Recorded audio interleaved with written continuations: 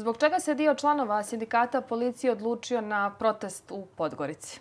Šta se dešava sa izgradnjom stanova na koje godinama čekaju? Može li sindikalna borba doprinijeti poboljšanju uslova rada pripadnika policije?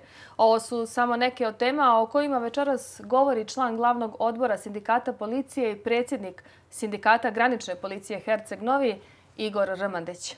Dobro večer. Gledate emisiju Četiri oka. Dobro večer i vama i dobrodošli. Dobro večer. Evo, krenut ćemo od jučerašnjeg protesta. Odlučili ste se da izađete i protestujete ispred zgrade sindikata. Imate određene zahtjeve, tražite smjenu trenutnog rukovodstva sindikata uprave policije, na čelu, e, između ostalog, tražite i smjenu predsjednika, e, koji je preko deset godina, u stvari predsjednik e, sindikata, Mladena Šuškačevića. Za početak da vas pitam, šta vas je negdje opredijelilo da izađete, se okupite ispred zgrade u Zagoriču?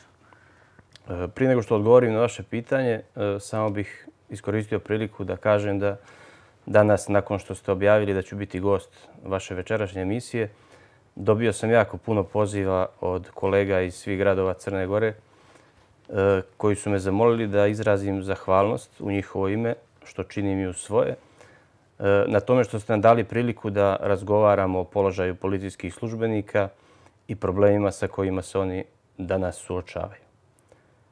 Odgovor na vaše pitanje je vrlo kompleksan. E, službenici policije u Crnoj Gori su trenutno u jednom vrlo nezavidnom socioekonomskom položaju, e, materijalnom i mi ne vidimo sad u ovom trenutku rešenje sa sadašnjim rukovodstvom sindikata. Nemamo potpisan kolektivni ugovor. E, plate nam se smanjuju već nekoliko puta u proteklih desetak, 12 godina.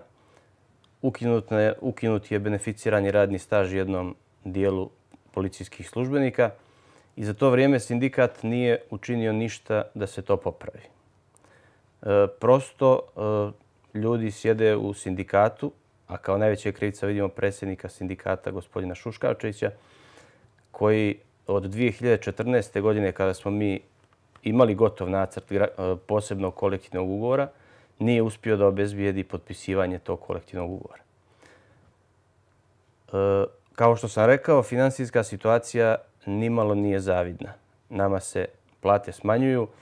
E, zadnji takav slučaj je u prethodna dva mjeseca kada su nam smanjene novčana primanja od 40 do 100 eura, zavisno od toga koliko koji službenik prima platu, a sve na osnovu zakona koji je donesen prije nekoliko godina koji, koji kaže da se iz obračuna minulog staža briše beneficirani radni staž. Koeficijent koji smo do sada imali na minuli staž je znatno smanjen i mi smo opet došli u situaciju da nam zarade budu smanjene.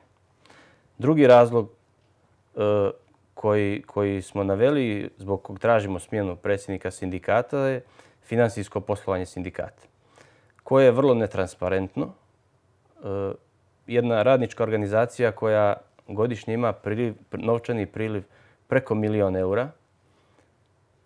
U proteklih par godina je finansijski izvještaj radila na dvije strane, što je nedopustivo. Ti finansijski izvještaji su potpuno netransparentni, e, nerazumljivi i čak ne umiju da ih objasne ni članovi nadzornog odbora koji potpisuju taj finansijski izvještaj. Tako da e, sve to kad se, kad se sabere dovodi do samovolje predsjednika sindikata koji je, mogu slobodno da kažem, sindikat pretvorio u svoju privatnu firmu, odluke donosi samostalno, mi funkcionišemo kao inokosni organ, iako sindikat ima i svoje kolektivne organe upravljanja i odlučivanja. Međutim, te odluke se u velikoj većini slučajeva ne poštuju, prosto se ignorišu. Na naša stalna pitanja da dobijemo odgovore na, na određena pitanja koja imamo i nedoumice, dobijamo samo ćutanje. Apsolutno, ako dobijemo bilo kakav odgovor, znali bismo da smo ga dobili, ali ovako ništa. Razgovarat ćemo o ovim problemima koje ste naveli uh, u ovom, u ovom uvodnom, da kako kažemo, kratkom izlaganju uh, sa čime se suočava, uh, suočavaju pripadnici e, policije. Ali da se vratimo samo kratko na e, protest. Vi ste pokrenuli peticiju, 4.500 je članova sindikata uprave policije, preko 1.500 je do sad potpisalo. Koliko vam je neophodno potpisa evo, da biste pokrenuli upravo smjenu rukovodstva? Peticija je potpisivana u prethodnih mjesec dana. Potpisivali su je policijski službenici u svim gradovima Crne Gore, odnosno u svim organizacijonim jedinicama uprave policije. I pored članova sindikata kojih ima oko 4300, tu peticiju su možda u nekom malom broju, ajde da kažemo od, od 2%, potpisali i ljudi koji su se iščlanili iz sindikata uprave policije, upravo nezadovoljni radom predsjednika sindikata i rukovodstva sindikata. Tu peticiju nije mogao niko da potpiše kao što tvrdi predsjednik sindikata, niko drugi, naravno. Ta peticija nije dostupna penzionerima i građanima kako on tvrdi i ona se nalazi isključivo kod policijskih službenika. Što se tiče e, broja koji nam je potreban, statut sindikata uprave policije kaže da je za pokretanje inicijative za održavanje vanrednog kongresa, samim tim izbora novog predsjednika i novih organa sindikata, neophodna jedna trećina članstva sindikata. Dakle, e, neophodno je oko 1300 potpisa, što znači da mi u ovom trenutku imamo e, više od toga. E, potpisivanje peticije nije završeno. Ono još uvijek traje u organizacijonim jedinicama gdje su se ljudi kasnije uključili zbog eventualne neinformisanosti ili pritisaka kojih svakako ima. I ono će trajati do održavanja prve naredne sjednice glavnog odbora, gdje će svaki sindikalni predstavnik biti obavezan obzirom na, na zahtjev svog članstva i njihov stav da te potpise donese i da ih prezentuje kao zahtjev svog članstva za održavanje vadrednog kongresa. Kada će to biti? Pa evo, mi smo imali e, negdje u planu, trebali smo, da, odnosno održali smo jednu sjednicu glavnog odbora krajem prošlog mjeseca, e, na kojoj predsjednik sindikata nije dozvolio da se osim jedne tačke jednog reda raspravlja o bilo čemu drugom i obećao je da će narednu sjednicu na kojoj ćemo raspraviti sve teme e, zakazati početkom juna. Evo, danas je 8. jun na nekoliko upita koje smo uputili i inicijativa članova glavnog odbora, on još uvijek nije odgovorio, već izbjegava zakazivanje te sjednice. Koliko, koliko traje dugo mandat evo, predsjedniku sindikata? Je li to ograničeno vašim nekim statutom? Statut kaže da mandat u svim organima i tijelima sindikata traje pet godina. Gospodin Šuškavčević je izabran 2017. 18. godine, izvinjam se. E, I njemu mandat ističe sljedeće godine. Tako da mi možemo zahtijevati održavanje, kažem, imamo potrebnu, potreban broj članstva koje, koje zahtijeva održavanje vanrednog kongresa. Da li je bilo nekih reakcija nakon e, protesta? E, jasno ste iznijeli vaše zahtjeve, to je medijski juče bilo i propraćeno. Da li je neko od rukovodstva, da li je sam predsjednik Eh, obratio vam se, pozvao vas na neki dogovor? Pa mi smo uh, uputili nekoliko dana prije održavanja protesta uputili zvanično dopis predsjedniku sindikata da se juče obrati prisutnim službenicima policije koji su okupili ispred prostorija sindikata i da kasnije primi predstavnike nezadovoljnih službenika. Međutim, on nas je ignorisao, kao i svaki put do sada. Prosto ne želi da razgovara sa nama, odnosno vjerovatno pokušava da nam ili želi da nam pokaže da smo nebitni i da e, naše mišljenje njega ne obavezuje. Meni je e, lično rekao u novembru mjesecu kada sam pokrenuo prvu inicijativu za njegovu smjenu ispred službenika iz Herceg Novog, kada sam mu predao potpise sa zahtjevom za njegovu ostavku, rekao mi je e, znaš li koliko mene interesuju vaši potpisi? Nimalo.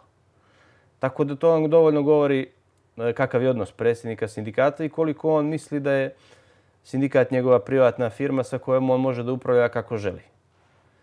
Što se tiče reakcija, reakcije su iz čitave države što se tiče policijskih službenika pozitivne. Tu nemamo nikakvu dilemu. Mi imamo tih 1500 potpisa, imamo još najmanje 1500 ljudi koji iz raznih razloga ne žele da potpišu tu peticiju. Svako ima pravo na svoje mišljenje i na svoju odluku. Naravno, nikome nećemo nametati svoje mišljenje. Naše je da iznesemo argumente i da objasnimo kakvo je stanje. Tako da e, predsjednik u ovom trenutku nema podršku više od možda 10% policijskih službenika. I to je upitno. U suprotnom, pretpostavljam da bi oni organizovali potpisivanje peticije za podršku, da bi nama pokazali da nismo u pravu. Kako se to ne dešava, možemo slobodno da zaključimo da je ogromna većina na našoj strani. Moram vas pitati, ukoliko ne uspijete evo, da da skupite dovoljan broj potpisa ili se ne uvaže ti potpisi i ne dođe do evo, glavnog, glavne te sjednice uh -huh. uh, sindikata i ne raspravlja se o smjeni i rukovodstva i predsjednika, da li razmišljate možda o osnivanju nekog novog sindikata? sindikata? Uh, vidite, e, većina službenika koji su sada članovi sindikata uprave policije su članovi 20, 25, 30 godina pokušaj da ozdravimo ili popravimo ovaj sadašnji sindikat je pokušaj da spasimo ono u šta smo ulagali decenija. A mi se nadamo iskreno u zdrav razum i dobre namjere ostalih članova glavnog odbora. Ja nisam sam u ovome, tu ima još nekoliko članova glavnog odbora koji već godinama ukazuju na nepravilnosti koje se dešavaju u sindikatu, ne samo na sindikalnim sastancima i sjednicama, već je godinama upoznavana i šira javnost i nadležne institucije.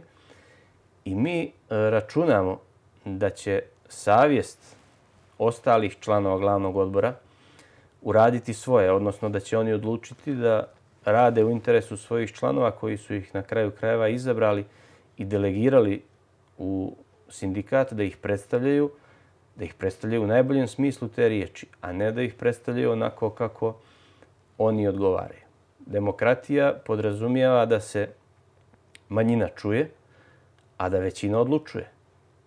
Obzirom da imamo u velikom broju organizacijonih jedinica većinu nezadovoljnih službenika koji su to potvrdili svojim potpisom, računamo da će na sjednici glavnog odbora narednoj ili onoj koja dođe iza nje to pitanje biti postavljeno na dnevni red i da ćemo mi imati većinu za održavanje tog vanrednog kongresa.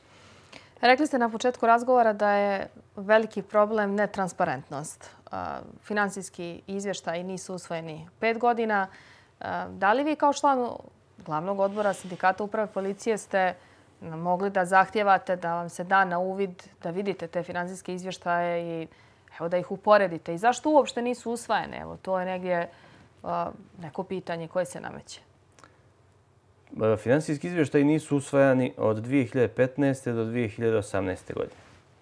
Znači, punih pet godina, odnosno pet finansijskih izvještaja nije usvojeno zbog različitih nepravilnosti. Kao što sam ranije rekao, Eh, na početku su ti finansijski izvještaji rađeni vrlo neozbiljno, gdje ste dobijali dva lista papira na kojima je pisalo početno stanje, priliv, odliv i nekoliko stavki, i tu su bili potpisi članova nadzornog odbora koji ne znam iz kog razloga nisu radili svoj posao onako kako treba. Znači temeljito, kvalitetno, sa uvidom u sve papire i svu finansijsku dokumentaciju. Na naše zahtjeve e, ta izrada finansijskih izvještaja se popravila, ali ne u mjeri u kojoj bismo mi mogli da vidimo tačno stav, svaku stavku gdje je novac trošen, već je to opet bilo po nekim čudnim stavkama koje nisu mogli da objasne čak ni članovi tog nadzornog odbora. Iako su oni potpisivali te finansijski izvještaje i samim svojim potpisom stajali iza njih kao da su vjerodostojni. A na što mislite, šta su prema vašem mišljenju čudne stavke? Šta je to što je vama sporno u tim finansijskim izvještajima koje pa, ste imali? Tu ima, tu ima izdataka za koje organi sindikata, tu mislim na predsjedništvo i glavni odbor, koji su ovlašteni da donose takve odluke nikad nisu donijeli odluke da se određeni finansijski izdaci naprave. E, to može biti odluka samo predsjednika sindikata. Ako ova dva organa nisu donijela, a nisu donijela odluke. Na naša pitanja da li postoji opravdanje za to, opet smo dobijeli čutanje. E, kolega Aleksandar Mitrović sa Cetinja je više puta uputio pitanja, jasna i vrlo precizna pitanja, da mu se odgovori po stavkama šta je to što se trošilo od sindikalnog novca, međutim nikad nije dobio odgovore na ta pitanja. Prvi put su pitanja poslata možda negdje e, 17, 2017. Godine. Ja sam također nekoliko puta slao pitanja sindikatu, odnosno predsjedniku sindikata. Nikada njih nisam dobio odgovor.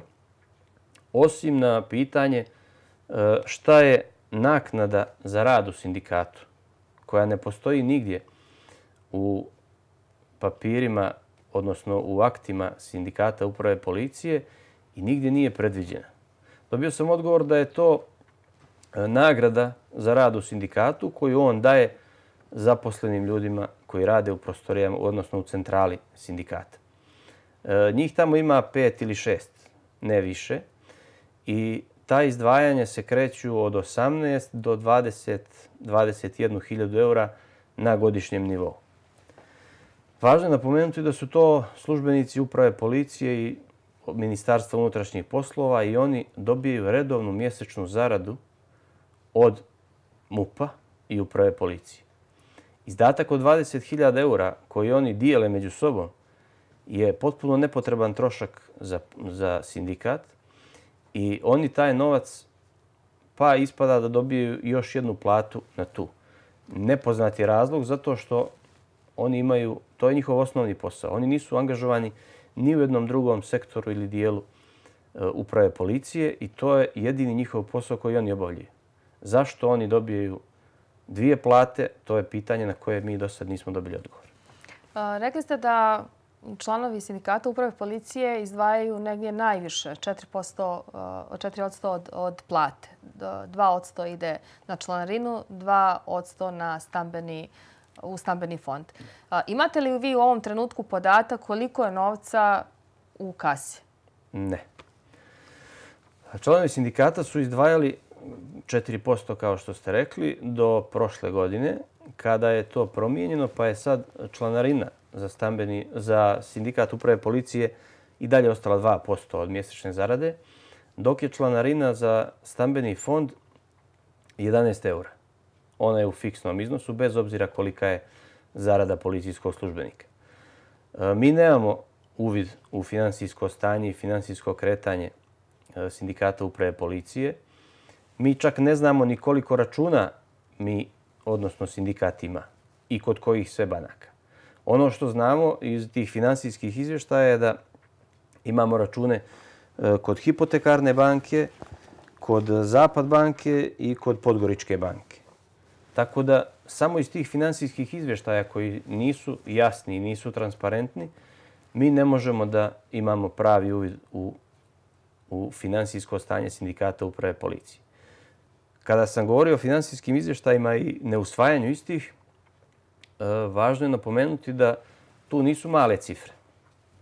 Recimo, e, razmatrajući prošlogodišnji finansijski izvještaj, odnosno preprošlogodišnji, izvinjavam se, za 20. E, godinu, e, mi smo našli otprilike nekih 50 ili 60 hiljada eura koji se ne poklapaju sa podacima koje mi imamo. E, predsjednik komisije za dodjelu novčanih pomoći i pozajmica koju sindikat ima i koja odlučuje na, na mjesečnom nivou o tim novčanim davanjima e, je tokom jedne godine našao da se ne slaže finansijsko stanje sa onim što su oni odobrili i onim što je sindikat isplatio za otprilike 30 ili 40 hiljada eura. Tako da, Kad se sve sabere, tu se radi o iznosima od više stotina hiljada eura i ta sredstva uopšte nisu mala. Važno je napomenuti da mi imamo godišnji priliv otprilike pola miliona eura u stambeni fond i pola miliona eura u kasu zbog članarine u sindikatu uprave policije. To je milion eura. Kada tome dodamo novčane pozajmice koje se daju policijskim službenicima u iznosu od 200 do 500 eura, koje oni vraćaju na 12 mjesečnih rata, e, znači da za godinu dana mi vratimo sav novac koji smo dali u prethodnih 12 mjeseci. Mi na, e, komisija e, na mjesečnom nivou odobri između 40 i 50 hiljada eura novčanih pozajmica. Znači mi svakog narednog mjeseca imamo isti taj iznos ako računamo na 12, onih što su, dali, što su dobili pozajmicu prije godinu dana, imamo povraćaj tih 40 ili 50 hiljada eura. 12 mjeseci, to je opet pola miliona. Znači mi imamo milion i po otprilike u kasi sindikata, ali trenutno nemamo novca. U planu je da se sindikat zaduži kod banke milioni sto hiljada eura da bi mogao da pokrije prošli kredit koji smo uzeli također u iznosu od milion eura. I A da... šta su, je, su utrošena od kreditna sredstva? Ako evo imate pola milijana na godišnjem nivou, članovi vraćaju, dakle, šta su troškovi? Troškovi su, evo, sad ću vam reći, troškovi imamo vrlo, vrlo čudnih stavki na koje se troši novac. Evo recimo, ta naknada za rad u sindikatu u iznosu od 20.000 eura za 2020. godinu. A zašto je to kreditno zaduženje išlo? Na šta? Kreditno... I, na, I ovo buduće evo, koje ste rekli da se planira? To će ići na stambene kredite. Umjesto da dajemo službenicima stambene kredite od našeg novca, kojeg ima činjenica, znači mi imamo otprilike od povraćaja pozajmica i stambenog fonda milion eura godišnje. Umjesto da od tog novca dijelimo e, stambene kredite službenicima, za koje moram reći da su vrlo mali, to su stambeni krediti u prosjeku od 6.000 eura. Za taj novac danas, po današnjim cijenama, policijski službenik ne može puno toga da uradi i ne može da riješi svoje stambeno pitanje, ali smo došli u situaciju da je bolje uzeti išta nego ništa. Tako da e, negdje izlaz mora da se pronađe. Mora se sindikat postaviti na neke zdravije osnove i moraju ti finansijski tokovi da idu nekim vrlo jasnim i transparentnim tokom. Imate, evo, za ove tvrdnje imate konkretne dokaze. Imate li? Da. Uh, jeste li, evo, podnosili neke onda prijave ako sumnjate da nešto nije regularno uh, rađeno? Je li ima osnova onda da se podnese prijava da se utvrdi ili ako su neke zloupotrebe u pitanju da se podnese krivačna prijava? Jeste li prijavljivali nešto? E, jasno. E, više puta i od strane više kolega na više adresa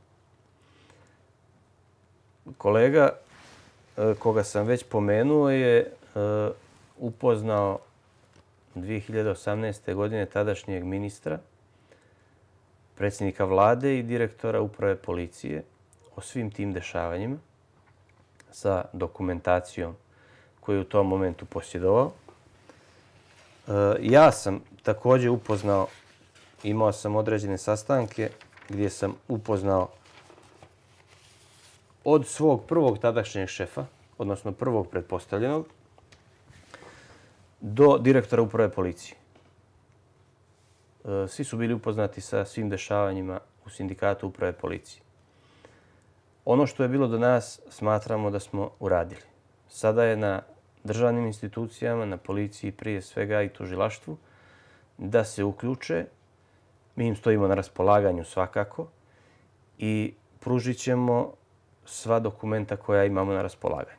Važno mi je da napomenem, obzirom da sam juče od strane predsjednika sindikata prozvan da sam iznio e, puno laži na njegov račun. Važno mi je da napomenem da sve ono što iznosim, iznosim na temelju e, nepobitnih činjenica, odnosno dokumenata, Jedan dio sam donio i večeras ovdje kod vas, e, koji su svi sa potpisom sa pečatom zavedeni su u djelovodnim knjigama da li sindikata ili drugih institucija i imam svjedoke za to.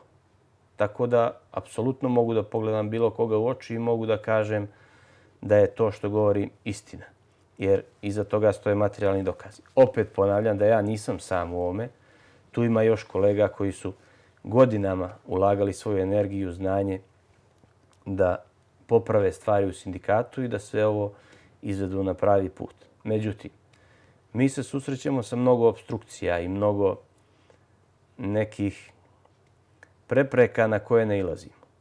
Kada je kolega 2018. obavijestio ljude koje sam, koje sam pobrojao, Eh, odmah su nastupili pritisci.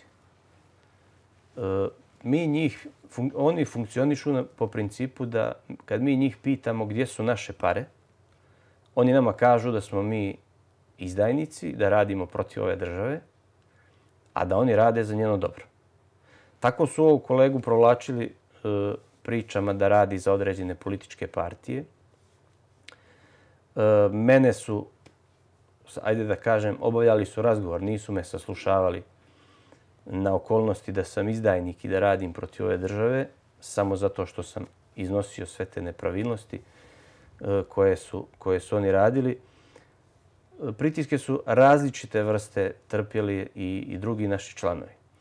Kao najbolji primjer toga navešću e, stambenu gradnju na Žabljaku i slučaj kolege sa Žabljaka koji je nakon vrlo problematične stambene gradnje na Žabljaku e, kao svaki savjestan i, i pošten policajac podnio prijavu da, na, da, jer je imao sumnje na određene nepravilnosti u toku te stambene raspodjele, naša obaveza, obaveza svakog građanina je da prijavi ako ima sumnje da postoji krivično djelo, a policajca da, da ne govorimo. On je podnio direktoru tadašnje uprave policije, poslao mu je dopis u kome izražava sve te sumnje. Međutim, šta se dešava? E, stambena komisija na koju se on žali u tom trenutku. U toj stambenoj komisiji e, sjedi predsjednica stambene komisije koja e, šalje taj dopis etičkom odboru na ocjenu da li je taj čovjek pritužbom na njih prekršio E, kodeks etike policije. U tom etičkom odboru sjedi čovjek koji sjedi u stambenoj komisiji i on treba da odluči da li je on grešan, što je klasični konflikt interesa. Ali je sve od samog početka isplanirano i namješteno da svi znaju, ne zna laička javnost možda, ali svi koji se imalo razumiju znaju da niko ne može da odlučuje o sobstvenim pravima, već da to mora biti neko drugi i da iz tog razloga postoji institut dvostepenosti u odlučivanju. U našem sindikatu to nije tako. Dobro, ima li prostora za istražne organe? Evo, govorite da imate dokaze. Evo, pomenuli ste kolegu sa Žabljaka. Govorit ćemo mi i o stambenoj izgradnji ljudi koji čekaju preko dvije i po decenije da dobiju stan bar ovdje u Herceg Novom. Ali evo da kad smo na ovoj temi imali posla za istražne organe, hoćete, jeste se obraćali ili planirate da podnesete dokaze da se istraži to sve? Posla za istražne organe ima... Jer ozbiljne, o ozbiljnim stvarima evo večeras razgovaramo. Tako je. Posla za istražne organe ima. I tekako ima. I naše očekivanje je da će tužilaštvo, ali i naše kolege iz policije što prije reagovati i početi da da tako kažem, češljaju rad sindikata uprave policije i da naprave uvid u kompletno poslovanje, u sve odluke koje su donosili članovi glavnog odbora, predsjednik sindikata lično i mislimo da tu ima jako puno prostora. Ono što smo saznali na jednoj od sjednica glavnog odbora je da je podnesena krivična prijava u vezi stambene gradnje u Nikšiću, koja je također vrlo, vrlo problematična.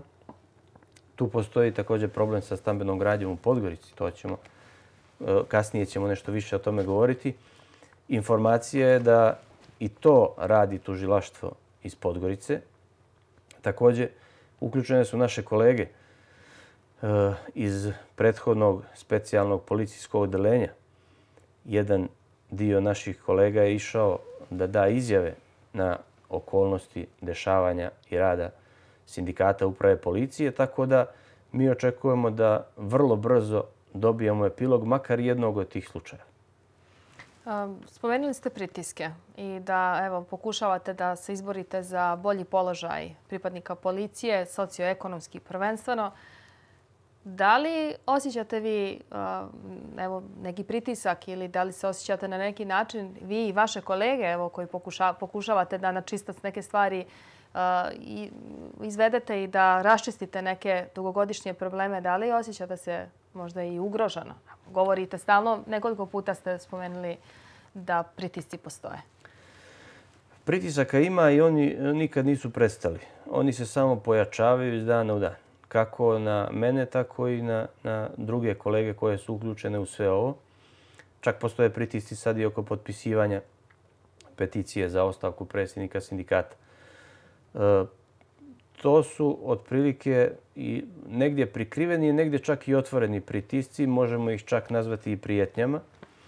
E, ne bih govorio u ime drugih kolega. Nadam se da će oni istupiti u svoje ime. Mogu govoriti u svoje lično ime i reći da je meni na prošloj sjednici glavnog odbora sindikata uprave policije upućena prijetnja koju sam ja shvatio kao prijetnju na moj fizički integritet. Jer mi je jasno dva puta poručeno, vrlo glasno, da, da ćemo mi neke stvari riješiti kad izađemo napolje. Jeste prijavili vi ta prijetnja? Jes. Tako da prijetnje postoje, ali znate kako, ja nosim uniformu od svoje 14. godine.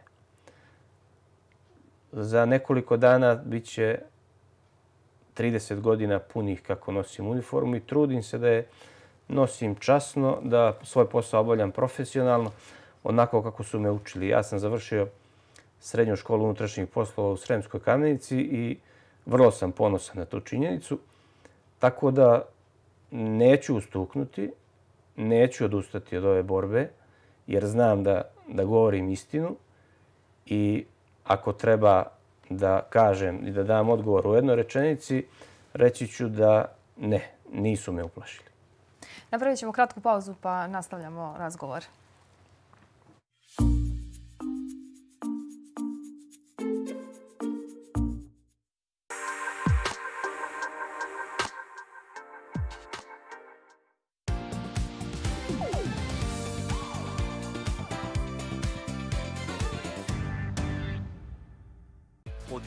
Teret 10. Elektroprivreda Crne Gore domaćinstvima nudi otplatu duga po najpovoljnijim uslovima. Fiksna mjesečna rata 20 eura. Izuzeće od prinudnih mjera naplate. Obustava obračuna zatezne kamate. Od 1. juna do 31. avgusta. Vaša elektroprivreda.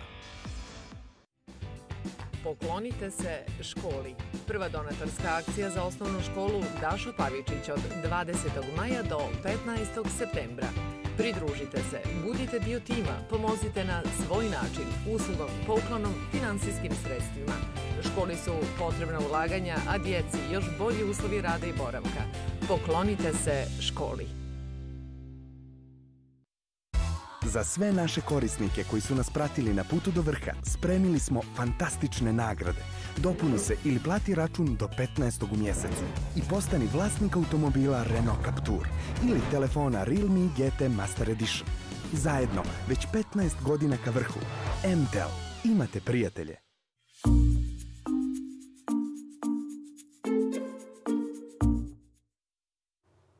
Pratite emisiju Četiri oka. Večerašnji gost je Igor Rmandić, član glavnog odbora sindikata uprave policije i predsjednik sindikata granične policije Herceg Novi.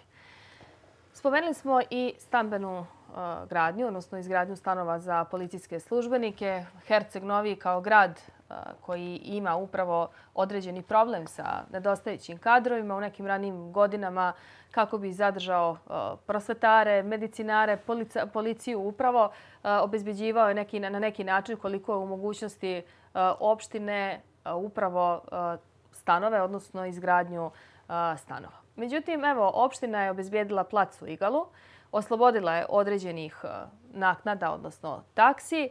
Međutim, evo, čeka se i dalje na izgradnju. Vi i ja smo u novembru imali uh, jedan uh, razgovor, radili smo upravo prilog uh, oko toga gdje je zapelo. Mislim, zbog čega se ne gradi još ta stambena zgrada na koju se evo baš dugo čeka? Stambena gradnja u Herceg Novom ima sve šanse da postane čuvenija od skadra na Bojeni, koji se gradio i razgrađivao. Tako i u našem slučaju. Sve ono što negdje napravimo dobro, desi se u jednom momentu jedna loša stvar koja nam sve to potre i onda smo opet ne na početku, nego u debelom minusu. Mi smo 2014. godine e, planirali gradnju stambene zgrade kod Kanli Kule i e, napravili određene pripreme u tom cilju. Čak su službenici dobili i odluke o stanovima u toj zgradi, međutim, zbog nekih imovinsko-pravnih odnosa ta gradnja nije bila moguća. Gledali smo neke druge mogućnosti e, koje smo mogli da iskoristimo e, u saradnji sa opštinom i imali smo negdje dogovor sa opštinom da napravimo zamjenu placa, da ovaj kod kanali kule zamijenimo za placu Igalu, koji bi bio veći i na kome bi moglo da se pravi znatno više stanova nego ova 32 koja su kod kanali kule. I ti razgovori su bili u završnoj fazi. Mogu slobodno reći da je sve bilo dogovoreno. E, pripremljena je čak i opštinska odluka koju ja imam ovdje u papirima. Međutim, e, iz nepoznatog, nepoznatog razloga, ničim izazvan i ni od koga ne dobivši odobrenje, predsjednik sindikata šalje opštini Herceg Novi dopis u kome on kaže da se mi odričemo zamjene placa. Ne znamo zašto i iz kog razloga. I mi takvom njegovom odlukom, imam tu taj njegov dopis koji je poslao, takvom njegovom odlukom mi ostajemo bez placa od hiljadu i nešto kvadrata, ostajemo bez mogućnosti da izgradimo te stambene jedinice i da zbrinemo porodice policijskih službenika. Nakon što se odustalo, mi smo naravno tek kasnije saznali kao i sve stvari koje se dešavaju u vezi stambene gradnje u Herceg Novom, e, pojavio se plac u Igalu. I e, moram vas ispraviti, izvinjavam se, opština nije obezbijedila plac. Mi ga nismo dobili besplatno, već moramo da ga platimo e, da bi obeštetili vlasnike te parcele, moramo da im ustupimo osam stambenih jedinica. Međutim, ono što, što nama ne odgovara i što prosto e, nije prijemčivo zdravom razumu je ponuda koju smo mi dobili od predsjednika sindikata da te stanove platimo po 1550 eura po metru kvadratno. E, u tom momentu plata policijskog službenika je bila ispod 500 eura i malo je ponižavajuće kad vi čovjeku nudite stan od 1000, za 1550 eura. Znači on može da kupi 30 cm kvadratnih za svoju jednu platu. Tako da tu ne vidimo izlaz. U razgovoru sa predstavnicima opštine oni su nam rekli da se za taj plac interesovalo nekoliko vrlo jakih građevinskih kompanija, ali kad su vidjeli urbanističko-tehničke uslove i mogućnost izgradnje na tom placu, shvatili su da to nije isplativo A onda su se po njihovim riječima pojavili ljudi iz sindikata bezbjednostnih institucija koji su rekli da je to njima isplativo i da oni to žele da, da rade. Kako im isplativo vidimo po tome što je cijena 1550 eura, s tim što su oni nama dali velikodušnu ponudu da se odreknemo 13 stanova, a oni će da cijenu da nam smanje na 1350 eura. Što je opet van svake pameti, jer ako imamo u vidu da službenici plaćaju plac, da sa opštinom pregovaramo oko plaćanja komunalija, e, da ćemo projekat mi platiti, izvođač je traži od nas da platimo priključke na vodu, struju i sve ostalo, postavlja se pitanje za šta bi mi dali izvođaču 1550 eura ili 1350 eura. Koji je to njegov trošak koji dostiže taj iznos?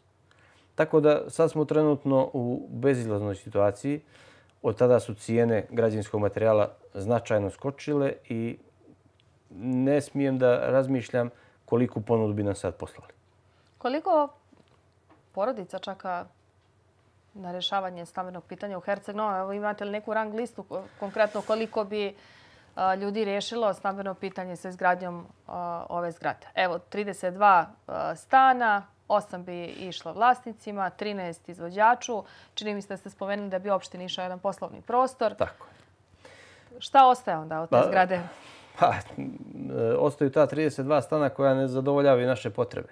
Mi u Herceg-Novom imamo otprilike oko 180 službenika granične policije i Centra bezbjednosti Herceg-Novi i e, vjerujte da je 90% njih u podstanarskom statusu. Tako da, ono što sam ja rekao na sastanku u jednom opštini, kad su nas pitali koliko stanova vam treba, ja sam rekao koliko god izgradite, nama će biti malo, jer teško je očekivati da će neko napraviti 180 stanova. Jeste li pokušali da e, nekako postignete neki dogovor sa, sa rukovodstvom sindikata kako bi se riješilo ovo pitanje? Jesmo.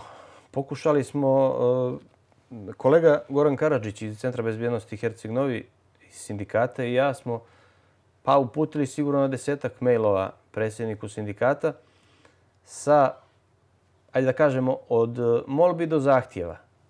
Da nam se pomogne, da nam se izađe u susret, da nam se da ta dokumentacija na osnovu koje bismo mogli da nađemo izvođača koji je povoljniji od ovog koga on forsira, ali on odbija svaku saradnju i prosto eto, još jednom pokazuje tu svoju samovolju i, i svoj, ono, svoje mišljenje da je on iznad svih nas. Dakle, ne očekujete da se u skorije vrijeme riješi? ovaj Nažalost, ne.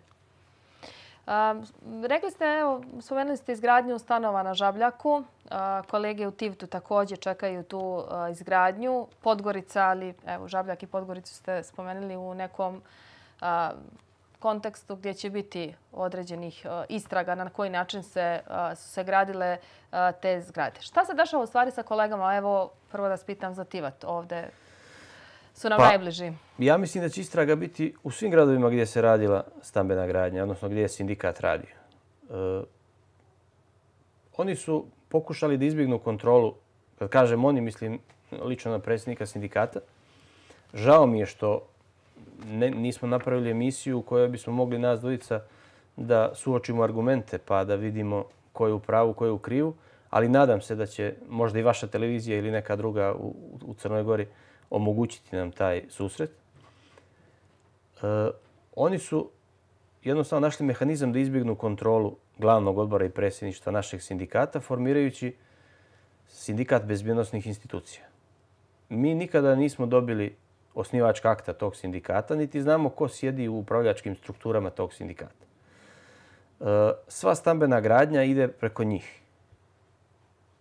Na taj način što oni raspisuju oglas, vrše kontrolu i sve ostalo, a mi to plaćamo. Što se tiče Tivta, e, tamo su ljudi dobili određeni broj stanova, tačnije 19, sa tim što je granična policija dobila 9, a odeljenje bezbjednosti Tivat 10. Na način da se 9 raspodijeli, a da 10. stan ostane neraspoređen u slučaju da bude sudskih tužbi ako neko dobije e, presudu u svoju korist da mu se taj stan dodijeli.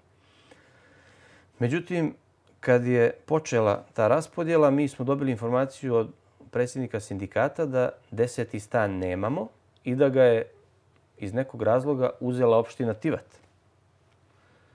Na naša pitanja zašto, kako, on je imao neke nemušte odgovore koji su vrlo konfuzni i nerazumljivi. I to je ostalo tako da smo mi bez tog stana u Tivtu. Međutim, e, sudskom presudom koja je donesena prošle godine u slučaju tužbe jednog kolege iz Tivta koji je bio nezadovoljan tom stambenom raspodjelom, iz te presude se vidi da, da je sindikat podijelio 10 stanova. Taj deseti e, ne znamo kako, ali znamo kome.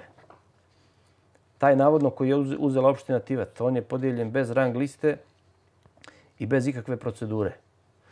Ovdje u presudi e, osnovnog suda u Podgorici piše da se ta rang lista mora napraviti ponovo i da je sindikat dostavio odluke za 10 stanova.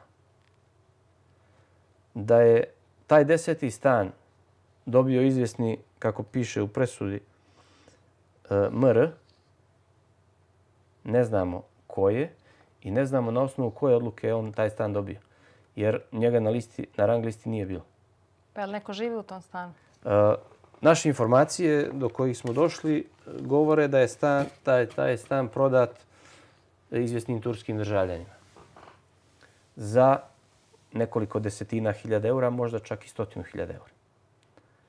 I to je, mislim, e, posao za istražne organe. A jeste li pravile, zaboravila sam vas to pitati, ovdje rang listu ljudi koji... Da, napravljene, da. napravljena je rang lista. Ljudi su dobili čak i odluke, iako mi nismo bili ni plac okrčili u tom momentu. Ljudima su donijete podijeljene odluke da oni imaju stan, ali taj stan je imaginaran. On prosto ne postoji. Evo, od 2014. To je već 8 godina. Dakle, morat ćete praviti vjerovatno kad dođe trenutak i nove rang liste za, to, za, za evo, da. ove stanove koji se budu graditi. Um, brzo vrijeme prolazi. Ostalo nam je još uh, malo vremena. Uh, htjela bih vas uh, pitati da prokomentarišemo Evo, kada smo kod stambene uh, politike, uh, vlada je također izdvajala neki novac iz budžetskih rezervi 2020. godine kada je bio ministar uh, Nuhođić, čini mi se nekih 400.000. To je otišlo na račun sindikata institucija bezbjednosti. Da li je dio novca išao u vaš sindikat. Evo, da li je taj, taj novac stigao do ljudi kojima je to potrebno? Po informacijama kojima ja raspolažem, taj novac je otišao za stambenu gradnju u Nikšići, e, E, koja je također vrlo problematična, jer je e, tamo oglasom traženo i tražen izvođač za izgradnju 140 stambenih jedinica, da bi se na kraju ispostavilo da policijski službenici dobiju samo 93. Obzirom da je e, opština Nikšić dala plac, oslobodila sindikat komunalije. Mi smo platili projekat.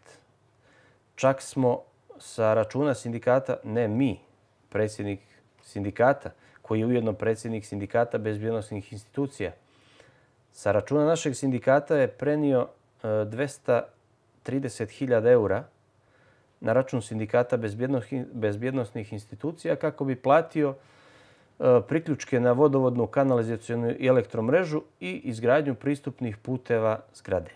To je također urađeno bez odobrenja bilo kog organa sindikata uprave policije, samo na osnovu odluke i volje predsjednika sindikata.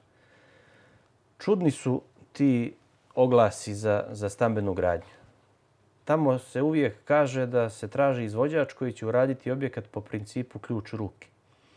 A onda mi tokom te same izgradnje shvatimo da to nije baš ključ u ruke, jer svi znamo da je ključ u ruke da vi date novac i uselite se u gotov stan.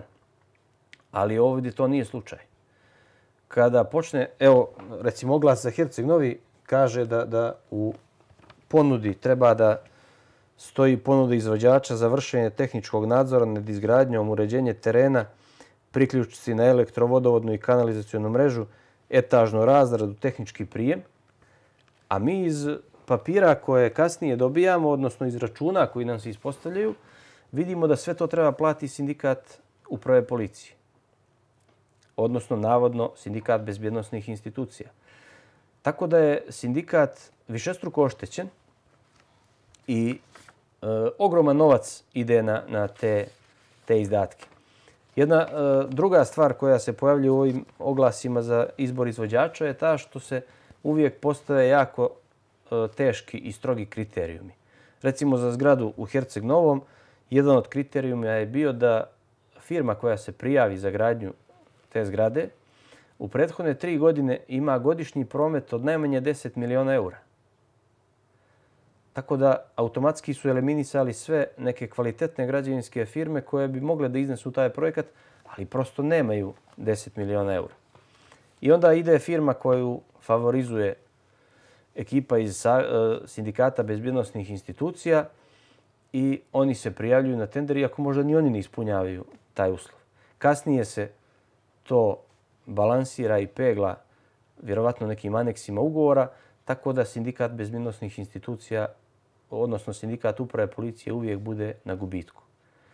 Kad smo pomenuli Žabljak, gore je e, građeno 19 stanova i vrlo je zanimljivo da smo mi za gradnju te zgrade saznali godinu dana nakon što je potpisan ugovor sa izvođačem. tačno godinu dana. I u tom momentu kad smo mi saznali, već je bio izgrađen i drugi sprat stambene zgrade na Žabljaku. Mi gore imamo, u tom momentu smo imali 22 ili 23 čovjeka koji bi trebali da dobiju stanove i plan je bio da im se da tih 19 stanova da bi veliki broj ljudi riješio stambeno pitanje. Međutim, nečijom odlukom, a pretpostavljamo svi čijom, sedam stanova je dato izvođaču radova i poslovni prostor. Ako opet znamo da je opština Žabljak dala plac, također postoji odluka i za to. Opština Žabljak je dala plac, mi smo platili projekat. Ne znamo ni koga je radio, ni koliko smo ga platili, ali smo ga platili. Platili smo također priključke na sve ove mreže.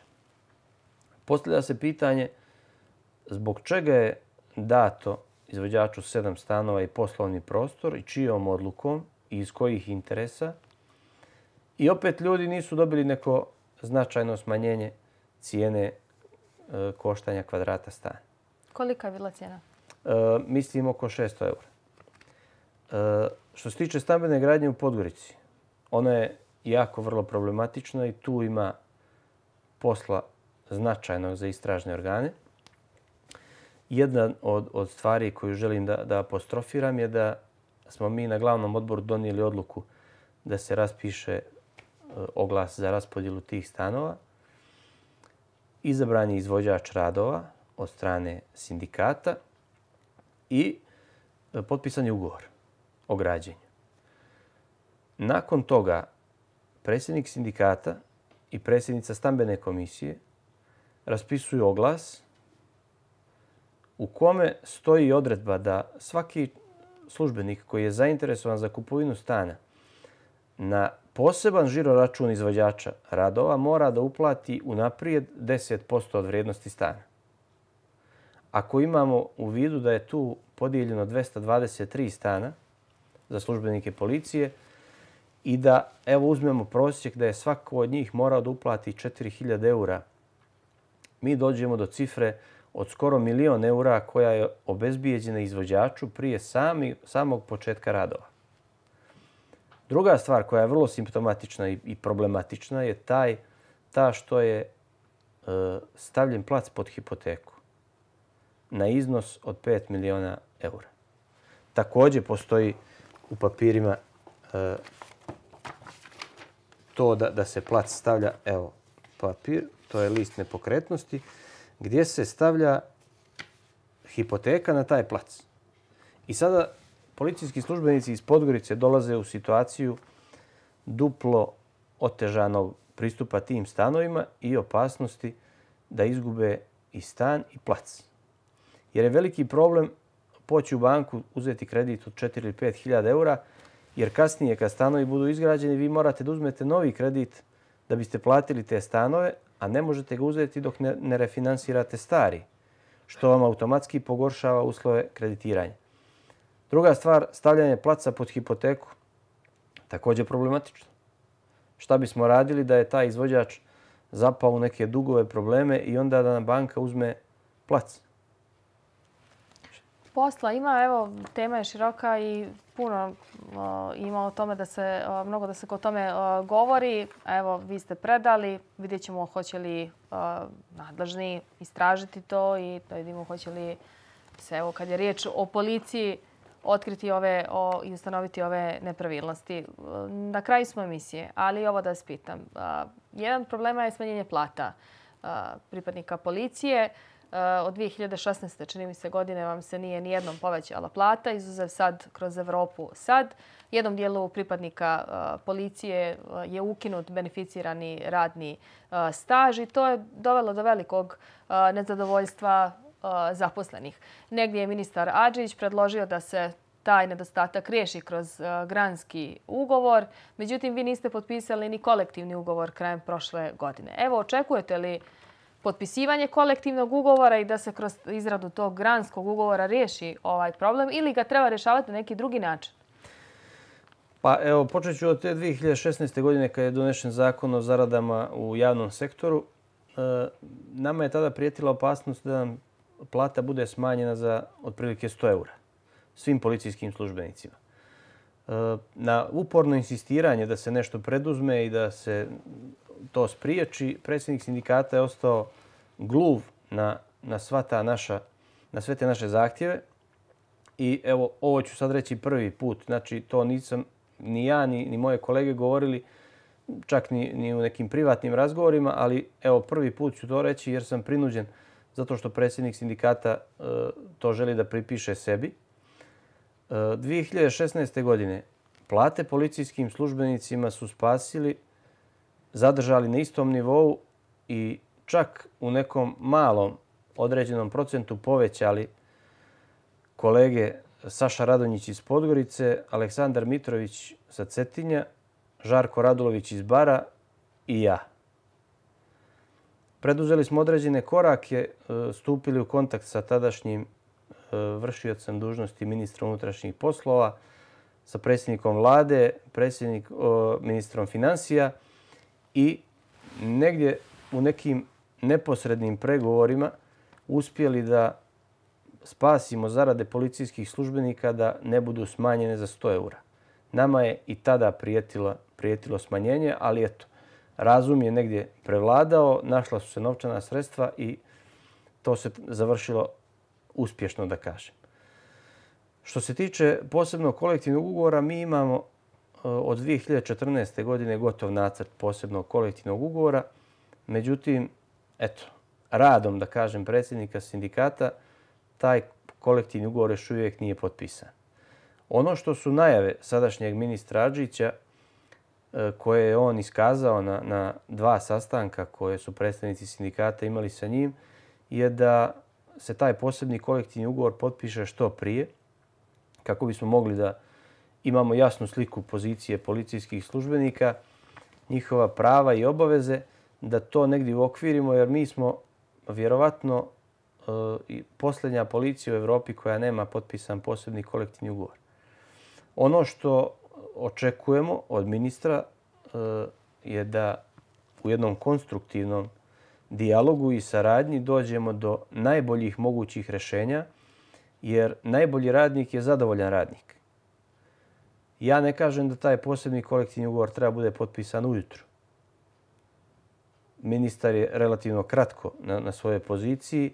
Slažem se sa njim da mu treba dati nešto vremena da sagleda kompletnu situaciju, ali isto tako mislim da nemamo previše vremena za čekanje i da to mora biti urađeno što prije. Hoćete li se odazvati pozivu na protest ukoliko do ponedeljka ne budu rješeni ovi problemi, odnosno problem smanjenja plata, kao što je kolega Begić pozvao? Vidite, e, ja u životu imam jedan problem jako veliki. Da ljudima uvijek govorim ono što je istina i ono što je tačno. Ne želim da govorim ono što ljudi žele da čuju. Svi moramo da budemo svjesni neke realnosti i nekih stvari koje moraju da se dese, odnosno koraka koji moraju da se naprave. Iluzorno je očekivati da će nama e, plata da bude povećana do ponedeljka. Ja znam da sad većina mojih kolega e, će vjerovatno negodovati zbog ovoga, ali mi svi moramo da shvatimo da zakon ne može da se promijeni za dva dana. Moramo biti svjesni realnosti da zakonska rešenja moraju da prođu skupštinske odbore, da budu odobrene u različitim ministarstvima, da dođu na raspravu u skupštinu. Mi moramo sve to pripremiti, naći političke subjekte, odnosno poslanike koji će da predlože tu izmjenu zakona i koji će da to zastupaju na Skupštini Crne Gore, gdje se na kraju krajeva e, taj zakon i donosi. Dakle, e, ne bježim ja, ni, od, ni moje kolege, ni od jednog vida sindikalne borbe. Mi prosto nemamo više mjesta za povlačenje. Tu smo gdje jesmo, to je užasno teška i, i loša pozicija, ali ipak moramo dati e, prostora dijalogu i dogovoru ako postoji volja druge strane. Ako ne postoji, mi imamo i druga rešenja koja naravno da, da ćemo iskoristiti. Hvala vam što ste bili gost emisije u Četiri oka i što ste otvoreno govorili o problemima sa kojima se suočavaju pripadnici policije. Biće prilike Radio Televizije Herceg Novi prati sve važne teme, pa tako ćemo ispratiti i ovo do kraja. Hvala vam još jednom. Hvala vama puno. Poštovani gledalci, hvala vam što ste pratili emisiju Četiri oka. Ostanite uz program radio televizije Herceg Novi. Prijatno večer.